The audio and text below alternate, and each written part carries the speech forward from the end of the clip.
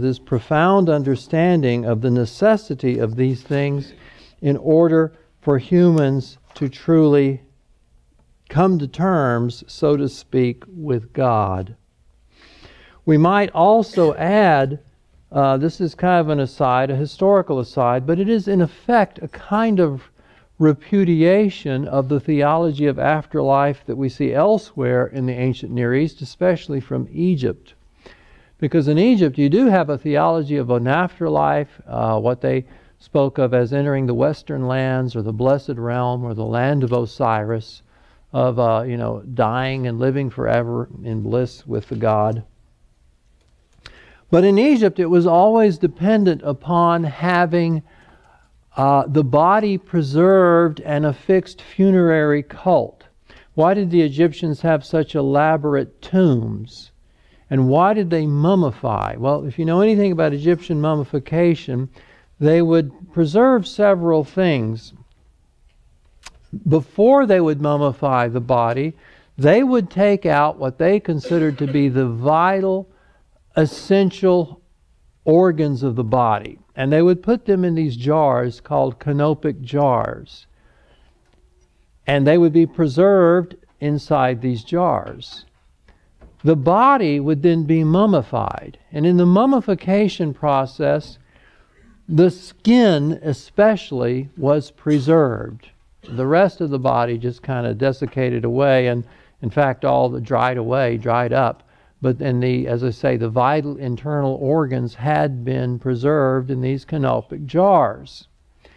And the idea was if you preserve your skin, your body, and your vital organs, and you put them in a proper tomb, and you have a, a proper funerary cult set up where people will come to your tomb and they will make offerings and they will give the appropriate prayers then you can live on in the realms of Osiris. What Job is saying is, after his skin has completely turned to dust, has been utterly destroyed, and after his internal organs have completely disappeared, utterly withered away and dried up and turned to nothing, still he will have a vision of God. So it is a resurrection theology that is quite different from, from notions of the afterlife such as existed in ancient Egypt. Why might that be important? It might be important because he's saying, he's not saying, well, I'm here subscribing to just one standard view of afterlife, such as we see in Egypt. He's saying, no, this is something completely different. This is a Redeemer figure who triumphs over the dust and who raises me up even though my whole body has turned to dust. Okay? Yes. What is the identity of Job's Redeemer? What do you think? Who do you think? Uh, is it uh, is this is it God, the one who is his opponent? Will God also be his redeemer? Well, that's a very good uh, notion. It's, in fact, it's a very common opinion. You, a number of people will defend the view that the redeemer that Job is looking for is God himself. I don't think that's possible because Job clearly speaks of the redeemer standing between him and God. And he also speaks of the Redeemer as, as being human, you know, as having as much in common with him as he has with God, as much in common with Job as he has with God. And so I think he is thinking of some other figure. And again, I, my translation of Acharon as future, someone who has not yet appeared on the scene, at least in historical circumstances. And so um, I think he is thinking of, if you will, an eschatological figure, a, a future figure who will come, who will stand between God and man as equals, and who will bring about resurrection. Isn't there a, a wicked interpretation, though, that Go ahead. Uh, a redeemer is also an avenger of blood, and that if Job feels that he is an innocent victim, that he will have an avenger of blood to to uh, uh, take vengeance on his behalf against his enemy? The Redeemer is basically one who's, in my, it's not necessarily vengeance. It can be. But a Goel, a Redeemer, is someone who sets things right after death, after a death has occurred. Um, in the book of Ruth, the Redeemer doesn't kill anybody. There's no blood vengeance there. But you do have a situation whereby, um, you know, Naomi's husband has died, Elimelech. No, not Elimelech. What's his name? Can't remember. Well, I'm sorry? No, I don't know. No, I look in look in Ruth chapter one. Is it Elimelech? Okay, that didn't sound right. Yes, it is Elimelech. That's right. Elimelech is uh, her husband. He's died, and she has no sons to take care of her because her sons have died, and the property is at risk, and she has, again, no one to care for her. So a situation has been made bad by death. And the Redeemer is the figure who will come in and make it right. Uh, you can have a Redeemer who does vengeance if there is a murder, and then the Redeemer goes and he pursues the murderer. But that's not intrinsic to the definition. And so, speaking of this mediator as a Redeemer doesn't imply he's going to engage in violence, but it does, I think, imply you know, what, what does Job speak of? He speaks of his impending death, and he speaks of his body turning to dust and somehow the Redeemer will make that right. So that's how I interpret that. Go ahead. I haven't studied this passage, so I'm just curious. Um, could it be both a third party, and could the Redeemer be both a third party and God Himself, or would that be anachronistic? I mean, it's conceivable. I, for my, as I understand it, within the dialogues themselves, within the speeches of Job, Job is really looking for someone to stand between himself and God. And so then to say, well, the Redeemer is God, does, uh, doesn't seem to fit. Now, having said that, obviously, you know, we as Christians, and we obviously see here the Redeemer as Christ, and we want to see Christ's divinity upheld as well. Well, I think it is, but, but not by simply saying the Redeemer is God but but something that Job does say in his speech is that he wants the, the, the Redeemer would have to be able to speak to both God and men as equal. And so, in the final analysis, who can speak to God as an equal but God? And if you even wanted to push it further, if you simply say, as a number of interpreters do, the Redeemer is God, then you simply have, I don't know how else to put it, a, a Unitarian view of God. I mean, here's God, God is God, God does what God does. But if you have a Redeemer figure who is, in, in a sense, a different person, but also speaks to God as equal, then you're much closer to a Trinitarian theology, where, you know, God is one God, but He's more than one person.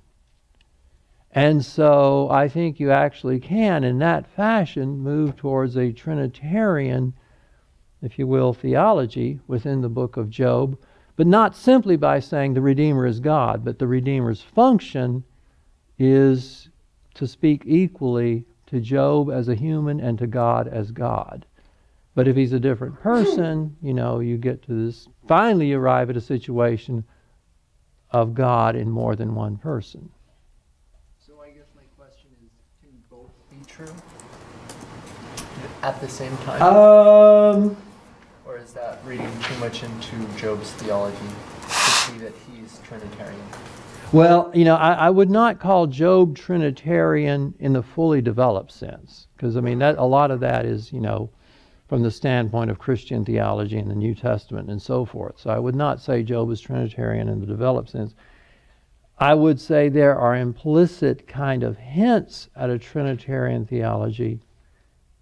Um, the rest is just kind of sort of hidden and veiled. I mean, you've got the fact that you've got a redeemer, you've got Job looking at God as his enemy, but a redeemer who can be both God and man.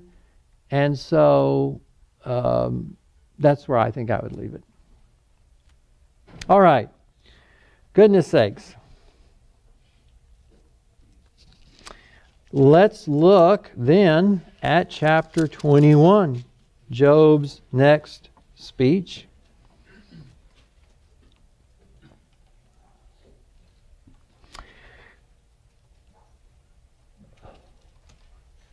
What we have here is Job attempting, or, or rather forcefully, rejecting traditional arguments regarding theodicy. And um, I'm just hesitating how much to give you. It's another chiastic text. I don't think you need another chiasm. But let me, uh, let me quickly look at what Job says here at certain points and, and bring out what I want you to see. Keep listening to my, the verse 2, keep listening to my words, let this be your comfort. Bear with me, I will speak after I have spoken. Mock me. So again, he opens his speech by talking to the friends and saying, okay, I'm going to say something important. When I'm done, you'll just attack me, but here it is. Jump down to verse 7. Why did the wicked live, reach old age, grow mighty in power? Their offspring are established in their presence, their descendants before their eyes. Their house is safe from fear, no rod of God is upon them. Their bull breeds without fail, their cows calve, uh, and do not their cow calves and does not miscarry. They send out their little boys like flock, and their children dance. They sing to the tambourine and the lyre, rejoice to the sound of the pipe. Well, what do we have here? This is the wicked prospering. He says, Look around, be honest. You can find lots of bad people who are rich and healthy and they have lots of kids and they enjoy life. So, where's all this about the wicked constantly getting punished? Um, verse 13 They spend their days in prosperity and peace, they go down to Sheol. They say to God, Depart from us. We do not desire the knowledge of your ways. What is the Almighty that we should serve him? And what profit do we get if we pray to him? Behold, is not their prosperity in their hand? The counsel of the wicked is far from me.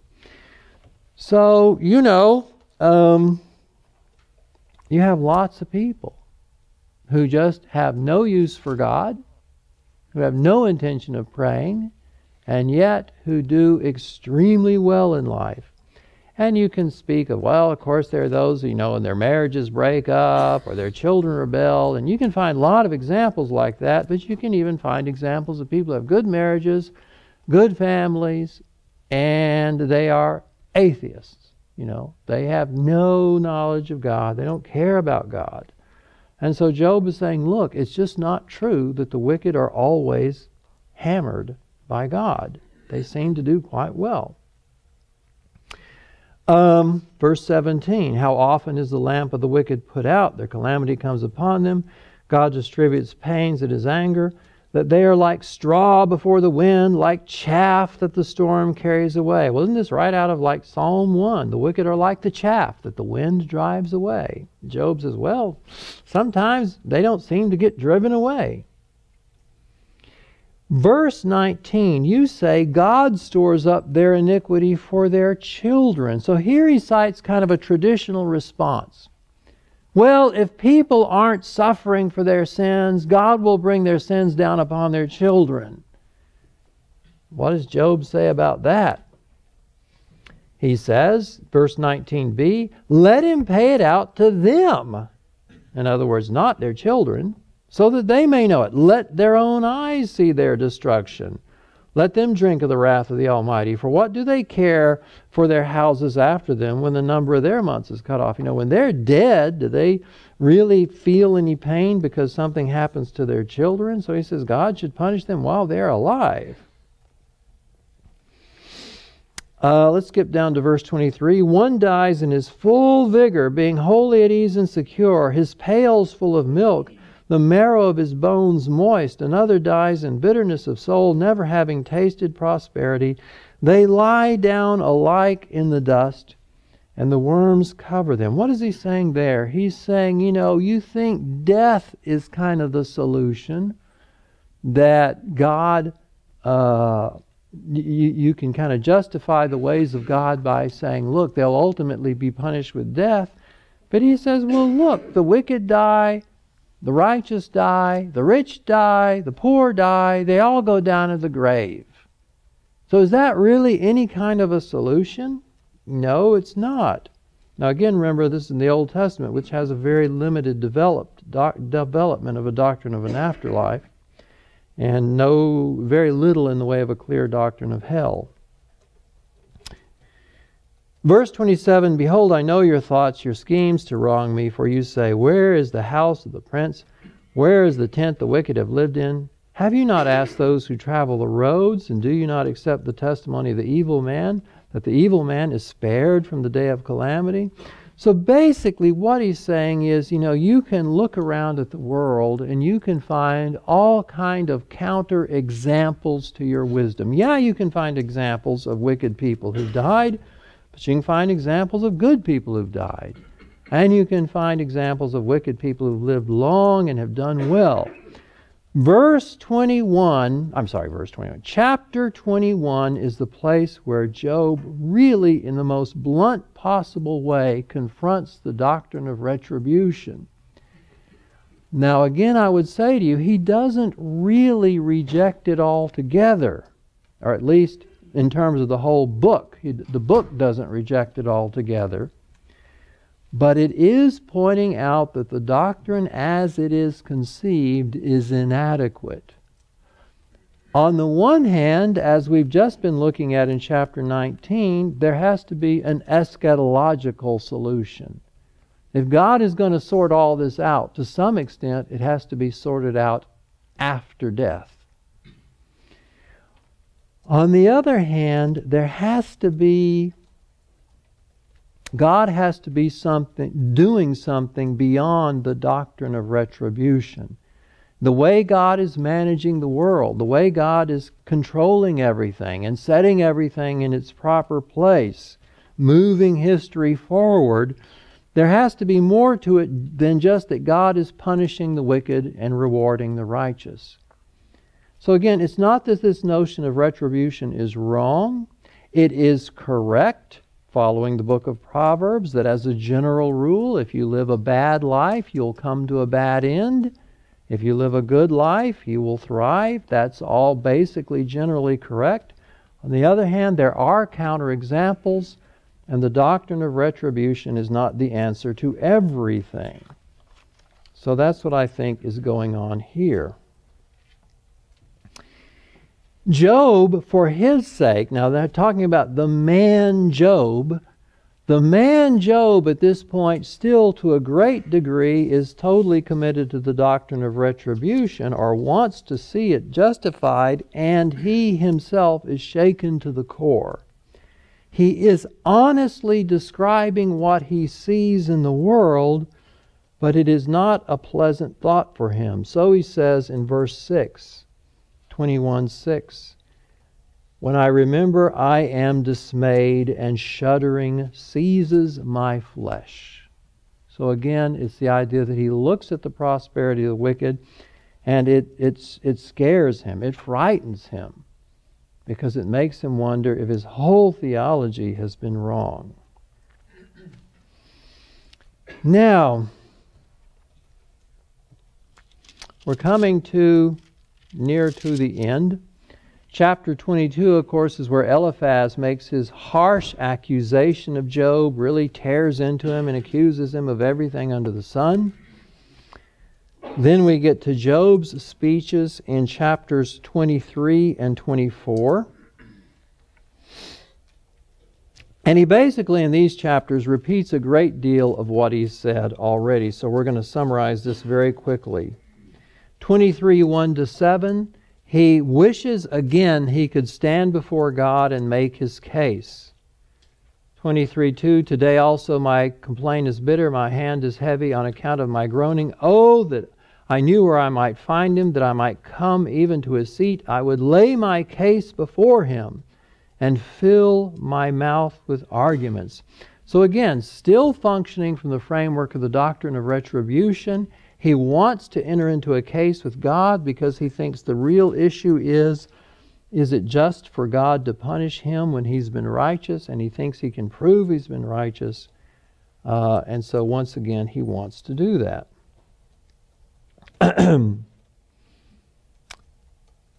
he says, however, that his innocence does him no good because God is hidden and God does whatever he chooses. This is 23 8 to 17. Beginning in verse 8 Behold, I go forward, he's not there, backward, I do not perceive him. On the left hand, when he is working, I do not behold him. He turns to the right, I do not see him. He knows the way that I take. When he has tried me, I shall become out as I shall come out as gold. So what is he saying here? He's saying, I can't find God. I can't come to trial with God. I can't stand before him and make my case. If we would have a trial, I would come out as gold. That is to say, I would be acquitted and shown, right, shown that I am righteous. So it's the same basic stance. Third, he makes the charge that God doesn't seem to judge the guilty or to help the righteous. And this is in chapter 24, verses uh, 1 to 25, pretty much the whole chapter. Why are not times of judgment kept by the Almighty? This is verse 1. Why do those who uh, know him never see his days? And then he gives this big description of the wicked. Some move landmarks, they seize flocks and pasture them, they drive away donkeys of the fatherless, they take the widow's ox for a pledge, they thrust the poor off the road, the poor of the earth hide themselves. Behold, like wild donkeys in the desert, the poor go out uh, to their toil seeking game. The wasteland yields food for their children. They gather their fodder in the field. They glean for the vineyard of the wicked man. All they lie all night naked without clothing. They have no covering in the cold.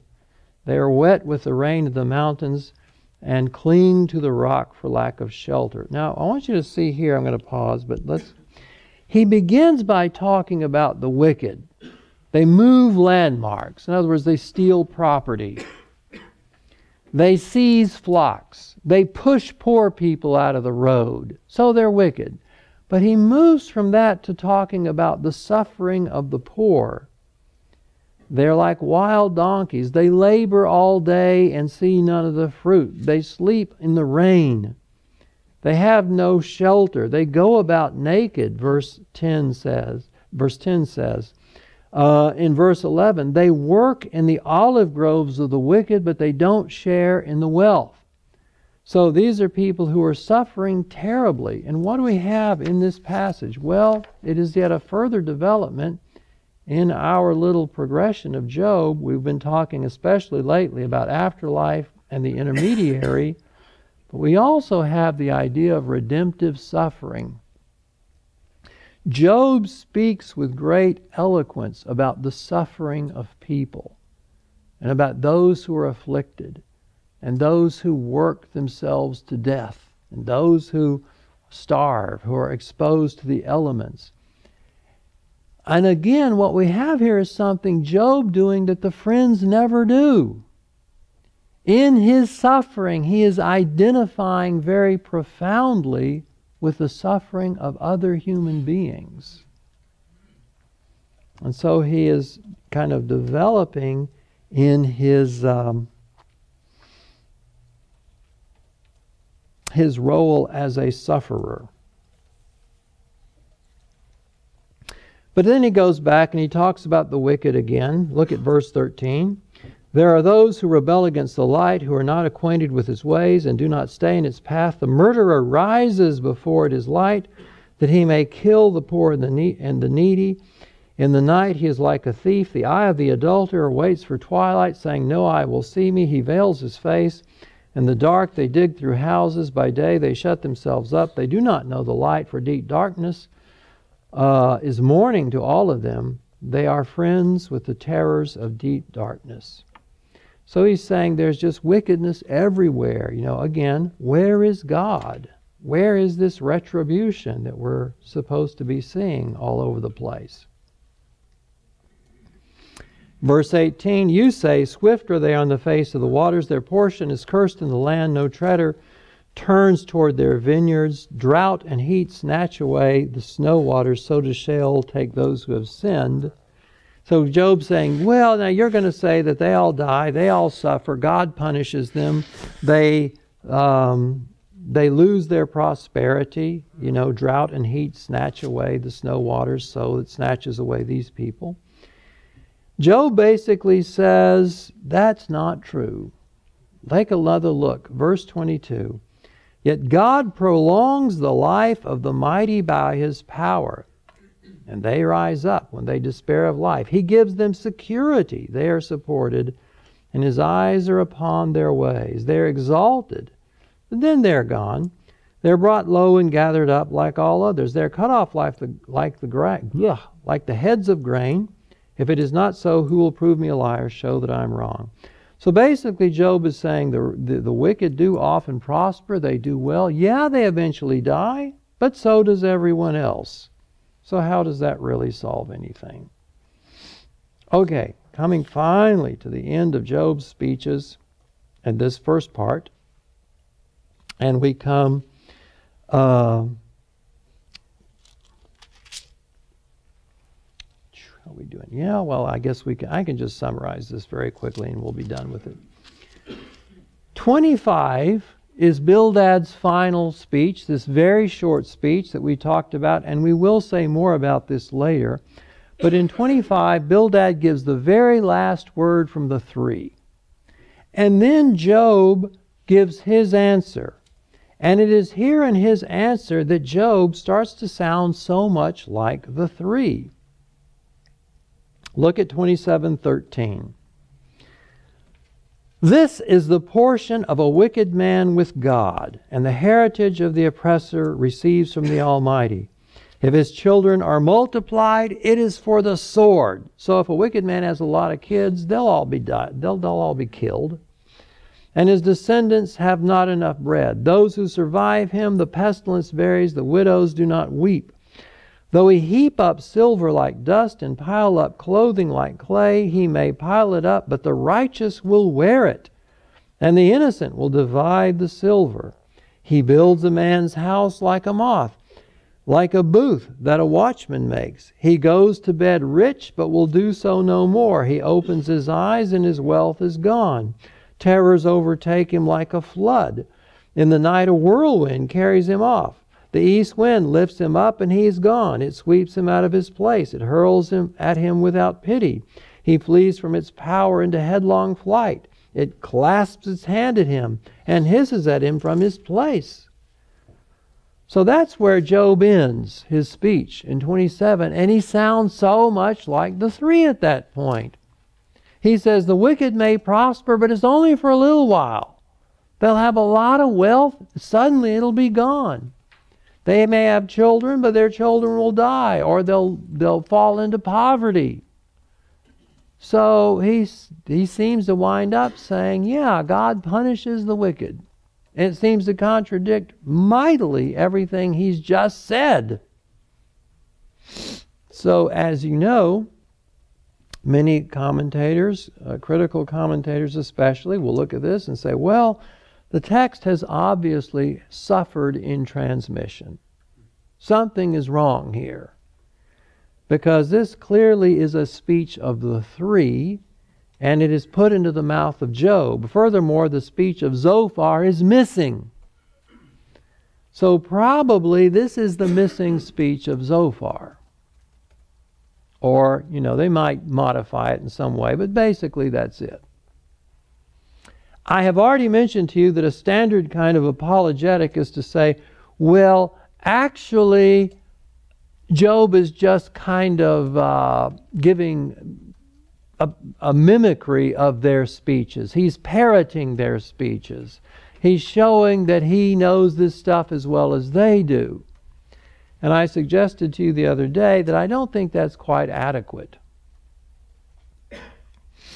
So what do we do with this material if it's if the text is not to be just rearranged?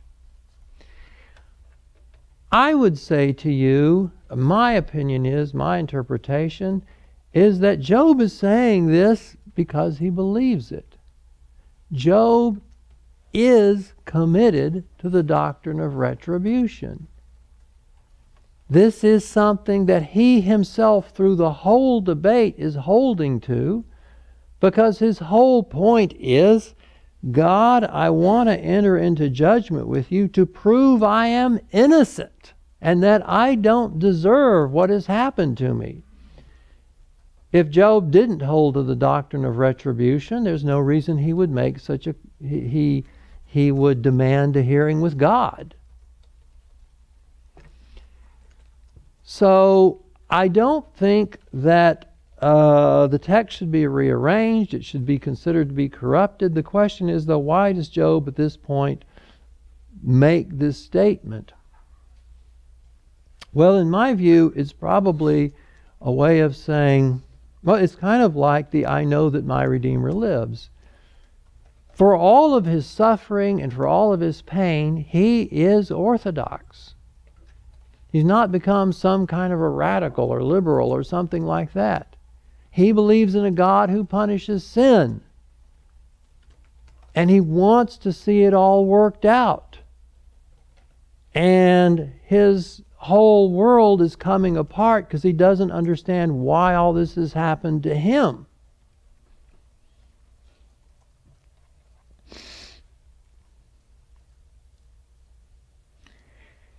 The last thing I would want to mention is this is, of course, where these three cycles end. And as I said, we'll talk more about Bildad's conclusion uh, tomorrow, actually. But the conclusion of the matter, as far as Job is concerned, I mean, how could we summarize it? We could summarize it by saying Job, from beginning to end, the last word that he gives to the three before the wisdom poem of chapter 28 is a confession of faith in the doctrine of retribution. For all of that, Job's great desire is to be able to stand before God and prove that he, Job, is innocent and that God should not have punished him in this way. Along the way, when he's not just lamenting his pain and, and chastising the three and not saying he wishes he could stand before God, he is undergoing a transformation that he himself maybe is not fully aware of. He is far more aware of the suffering of people. He is aware of the need for an intercessor between himself and God. And he's aware that ultimately the human situation has to be resolved eschatologically. There must be a resurrection. There must be an ultimate, final place where God sets everything right.